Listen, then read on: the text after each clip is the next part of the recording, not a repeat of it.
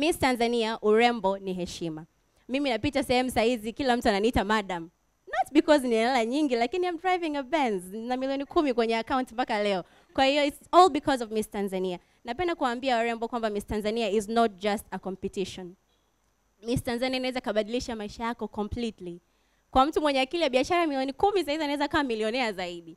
Kwa mtu ambaye ulikuwa una dream ya kuwa na gari, mimi nilikuwa na miaka ishirini na mbili sijui hata nitakuja kuown lini gari, sina kazi, hata degree sijamaliza, lakini I have something ambacho wasichana wengi mtaani hawana. So this is not just a competition, it's a platform, it's a life changer.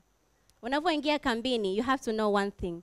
Hii kitu unataka kuwa na passion nacho, kwa sababu watu wanakupa kila kitu walicho nacho. Star Times wanaingiza hela, the Look Company wanawapa all the faith they have in you, kwa sababu mwisho wa siku una represent nchi nzima. Nyie ni mifano ya warembo wote Tanzania. Kwa hiyo you have to be the best especially kwenye kitu kama discipline.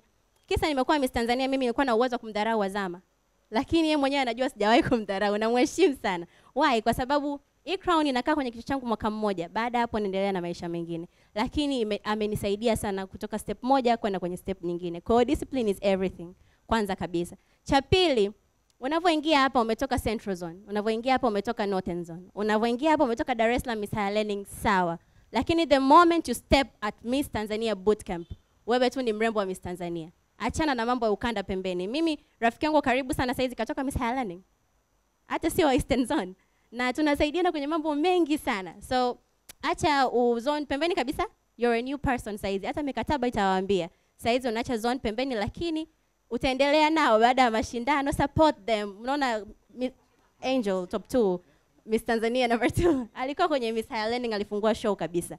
Uh, Linda Samson alikuwa kwenye Miss Dar es Salaam mwaka 2018 saizi ni mwandaaji.